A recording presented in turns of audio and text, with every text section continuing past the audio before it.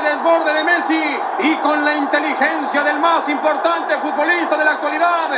Otra vez, los héroes no ganan partidos, los ganan los grandes, los que matan los partidos a la hora importante.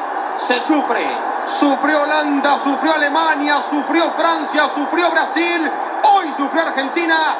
Todos avanzan. Y, se quiere morir de Lichtsteiner. La definición es es extraordinaria porque Benaglio está caminando hacia el otro costado.